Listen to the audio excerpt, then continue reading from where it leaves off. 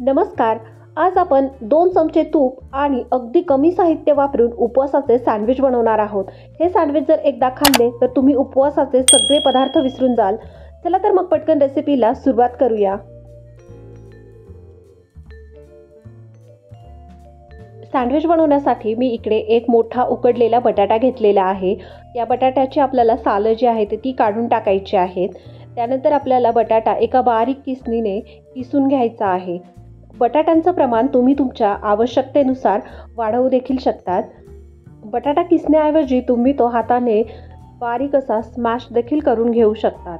बटाटा किसून झाला की लगेच आपल्याला यामध्ये दोन हिरव्या मिरच्या आणि दोन लाल मिरच्या ज्या आहेत तर त्या मी थोड्याशा कुटून घेतलेल्या आहेत. त्यानंतर यामध्ये भरपूर सारी कोथिंबीर घालायची आहे. कोथिंबीर जर तुम्हाला उपवासाला चालत नसेल तर नाही घातली तरी चालेल. आता यामध्ये आपल्याला भाजलेल्या शेंगदाण्यांचा कूट घालून घ्यायचा आहे. तो आपल्याला दोन ते तीन चमचे घालायचा आहे. त्यानंतर आपण यामध्ये एक चमचा साखर घालून घेणार आहोत. त्यानंतर चवीपुरतं आपल्याला यामध्ये सैंधव मीठ घालायचं आहे. यामध्ये आपल्याला अर्धा लिंबाचा रस देखील घालून घ्यायचा आहे. त्याऐवजी तुम्ही एक ते दोन चमचे दही वापरलं तरी चालेल. आता हे सगळं एकजीव होण्यासाठी आपल्याला यामध्ये साबुदाण्याचं पीठ घालून घ्यायचं आहे. साबुदाणा पीठ तुम्ही रेडीमेड देखील वापरू शकतात किंवा तुम्ही हे घरी देखील बनवू शकता. त्यासाठी तुम्हाला साबुदाणा जो आहे तर तो थोडासा गरम करून घ्यायचा आहे आणि थंड झाला की मग मिक्सरवरती बारीक करून घ्यायचा. आता यामध्ये आपल्याला एक ते दोन चमचे साबुदाणा पीठ घालून घ्यायचं आहे आणि हे सगळं चांगलं मिक्स करून घ्यायचं आहे. गरज वाटली तर तुम्ही यामध्ये साबुदाणा पीठ ॲड करू शकतात किंवा जर तुम्हाला मिश्रण थोडंसं कोरडं वाटलं तर तुम्ही यामध्ये थोडंसं दही देखील ॲड करू शकतात. मिश्रण छान एकजीव करून आपल्याला त्याचा छान गोळा तयार करून घ्यायचा आहे. हा गोळा आपल्याला दहा ते पंधरा मिनिटांकरता असाच भिजत ठेवायचा आहे. दहा ते पंधरा मिनिटांनंतर आपला गोळा जो आहे तर तो छान तयार होतो. आता पोळपाटावरती मी एक प्लास्टिक पेपर ठेवला आहे. त्यावरती थोडंसं तूप लावून घ्यायचं आहे. आता यावरती आपल्याला आपण तयार केलेल्या गोळ्यातला एक छोटा गोळा घेऊन वरतून पुन्हा प्लास्टिक पेपर आपल्याला त्यावर टाकायचा आहे. आणि लाटण्याने थोडंसं आपल्याला हे लाटून घ्यायचं आहे.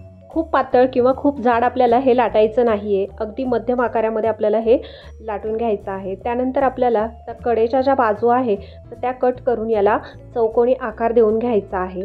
आणि बाजूचा एक्स्ट्रा जो भाग आहे तर तो आपल्याला याचा काढून टाकायचा आहे. आता या चौकोनाला आपल्याला अशा पद्धतीने कट करून दोन त्रिकोण तयार करायचे आहेत. अशा पद्धतीने आपला सँडविचचा आकार तयार झालेला आहे. तयार झालेल्या सँडविचला आपल्याला आपण तयार केलेलं जे साबुदाण्याचं पीठ होतं तर ते दोन्ही बाजूने छान लावून घ्यायचं आहे. यामुळे आपले सँडविच जे आहेत ते अगदी क्रिस्पी होतात.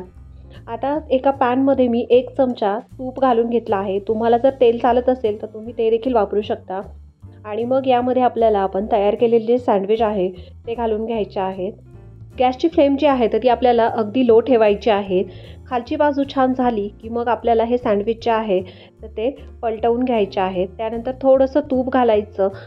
आणि दुसरी बाजू देखील आपल्याला छान शेकून घ्यायची आहे. आपण याला वरतून साबुदाणा पीठ लावलं आहे. त्यामुळे या सँडविचची वरची बाजू जी आहे तर ती अतिशय क्रिस्पी होते आणि आतमध्ये हे सँडविच अतिशय सॉफ्ट राहतात.